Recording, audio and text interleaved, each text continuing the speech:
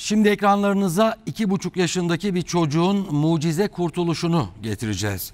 Suriyeli çocuk annesi evde yemek yaparken açık olan mutfak penceresine yaklaştı. Annesi fark etmedi ama sokaktan geçen Cezayirli bir genç fark etti durumu neyse ki ve pencerenin altına yaklaşıp ikinci kattan düşen çocuğu havada yakaladı.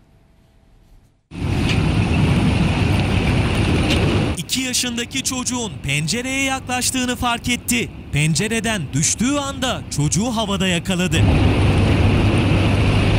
İstanbul Fatih'te Cezayirli gencin Suriyeli çocuğu kurtardığı o anlar böyle görüntülendi. Bu arkadaşın yukarı doğru baktığını gördüm mahallede. Baktım yukarı doğru. Bu kızcağızımız aşağı doğru düşecekti. Bu aslan parçası arkadaşımız da çocuğu havada yakalayarak ailesine tekrar geri kavuşturdu. İki buçuk yaşındaki Suriyeli Doğa Muhammed, annesi Leyla Abdullah mutfakta yemek yaparken ikinci kattaki dairelerinin açık bırakılan penceresine yaklaştı.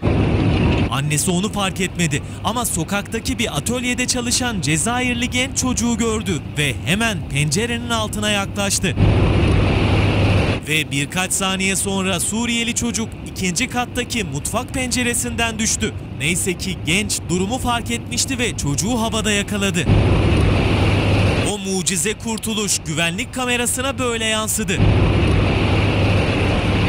Suriyeli çocuğun babası gence teşekkür etti. Ona 200 lira verdi. Çok teşekkür ederim. Allah razı olsun yani. Cezayirli gençse hayat kurtardığı için mutluydu. Allah rızası için yaptım dedi. Çocuk tam düşerken tuttum. Allah rızası için gerekeni yaptım. Pencereden düşen çocuğun burnu bile kanamadı.